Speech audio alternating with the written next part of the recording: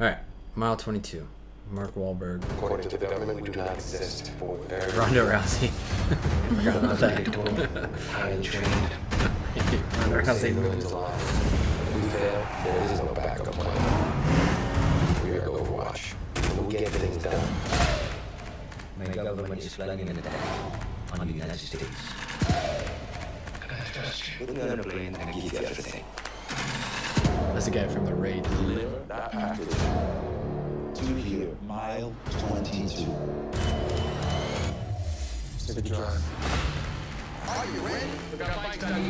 Feeling comatose? Not even a little. Are you? I'm totally calm. That's because you're mentally unstable. Thank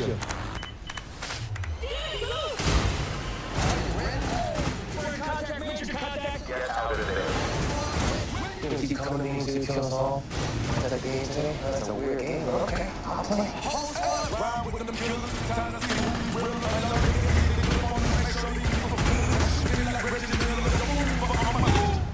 Cool. Mile 22, August 17th in IMAX and large format. All right, mile 22. What do you think about that? Not my kind of movie. No, I thought it was for sure. Ronda Rousey's in it. I don't. Ronda's Rousey act. Let me try that again.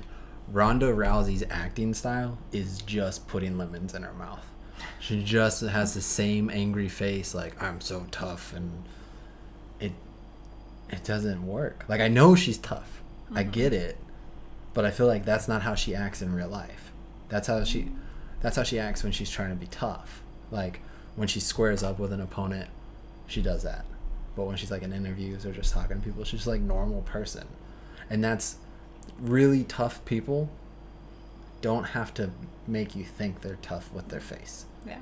because they're not really that afraid of you attacking them. You know, what I mean? like, and uh, she just, I don't know, I don't know if it's the direction that she gets or if it's her like her own thing because she was in Fast and the Furious, uh, I think 7 and she did the same thing. She just was like, I'm so angry all the time and constipated that she just has no acting range, and so that makes me really nervous about this Yeah. movie.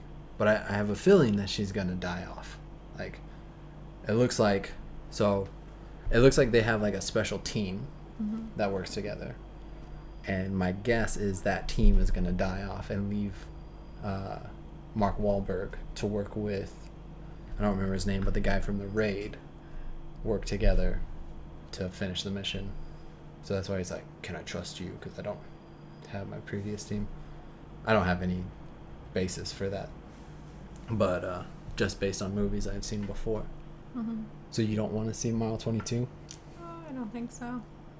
It's it's cool that they got the guy from the raid in it though, because it looks like the action scenes are gonna be um, well done. There's that that fight in the kitchen.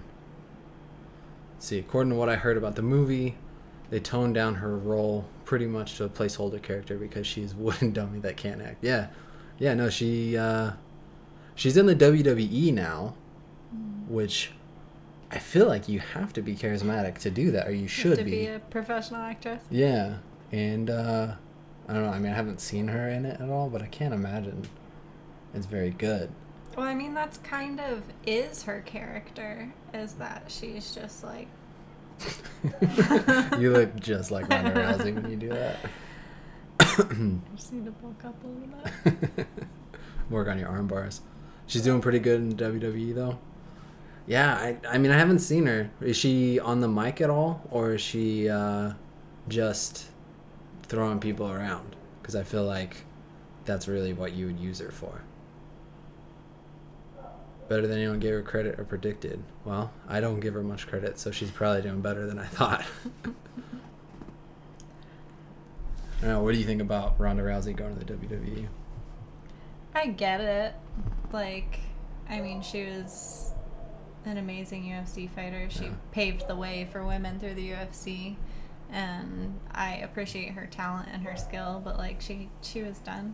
Yeah. You know, she Yeah. she had to find something else to do, something to make money, something she enjoys. Like, Yeah. it's not. I don't want to watch it, but but like, I get it. Good for her that she is. Uh, She she comes off as very out of her element on the mic sometimes. Yeah, there was a uh, an interview with her. I don't know if you've ever heard it, but she after she retired, she had a stipulation where like, don't talk to me about fighting. I'm not going to talk to you about fighting. That's and so, but everyone was like, well, we don't.